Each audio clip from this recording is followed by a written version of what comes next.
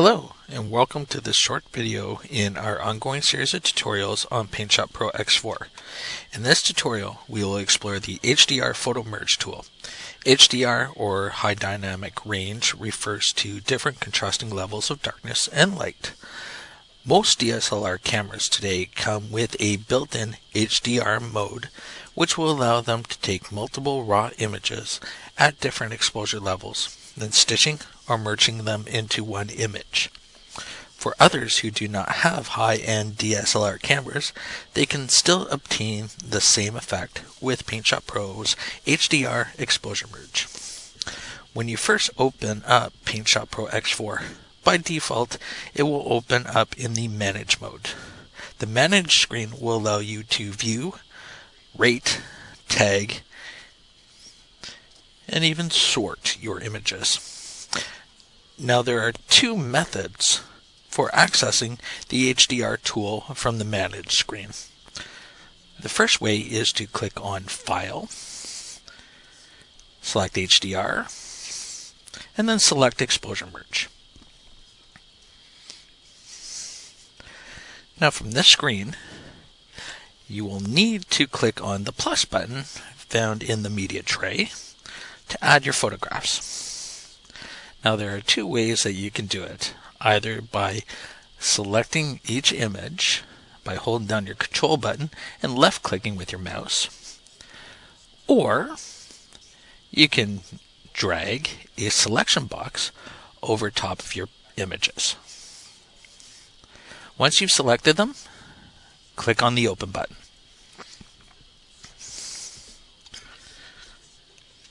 And there you have it. Now the second way to do it, we'll just go back to the Manage screen.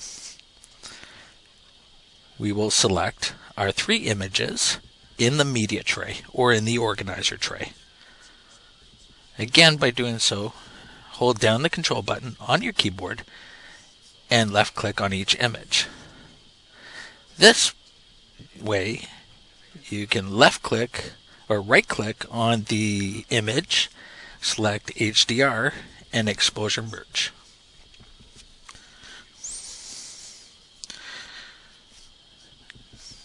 Now, once we have the images that we'll be working with, we will need to prepare them just prior to merging them. In this example, we will make sure that, for one, the auto select for the camera response curve profile is selected. Two, the alignment method will be feature based three, we will leave auto crop deselected. And then we will click on align.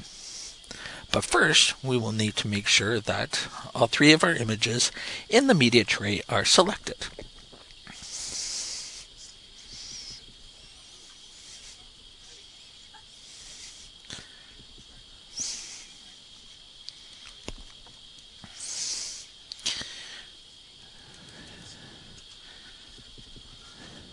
Okay, now that's done. Now, off onto the left-hand side, you'll quickly see some brush tools. Now, just to quickly explain, they are used to blend in or out certain objects with different images.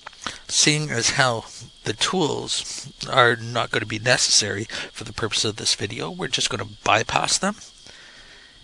And then lastly, click on the process button.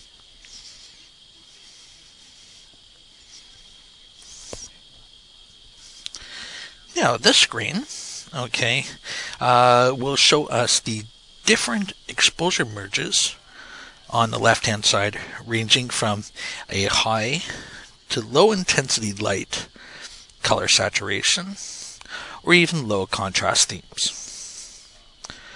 On this screen, you will be able to select the exposure merge you would like to keep. Again, we'll stay away from the custom editing for now, just to keep things simple. But the different options do allow for you to adjust the highlights and temperature, as well as vibrancy, which does give that extra pop to your images.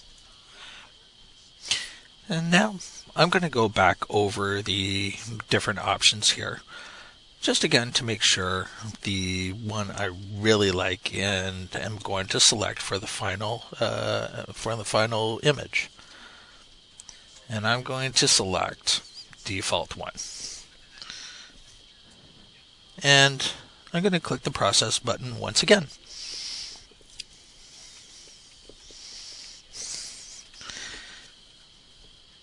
And that will bring us to our final screen where we can do some fine tuning to the image. Now you may recognize this interface as being the adjust screen.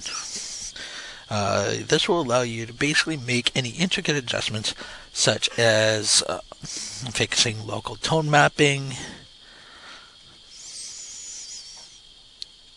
and even red eye.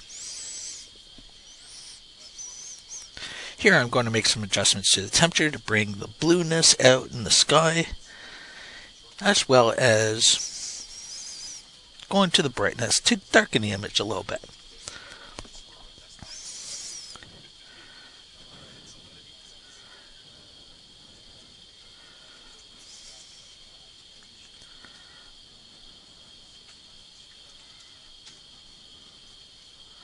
And there you have it. And there you have it. A picture with amazing contrast between different ranges of darkness and light with loads of vibrancy and texture. Again, you can use this tool with any picture type from a normal digital camera. And as a tip, try using a tripod when taking multiple images at different exposure levels. This way, the camera will stay stationary when making adjustments to the exposure settings. If you have enjoyed this tutorial, be sure to check out our other videos that are available in the Discovery Center. And if you have any ideas for tutorials or projects that you would like to see in the future, please email us at discovery.center at corel.com. Thanks for watching.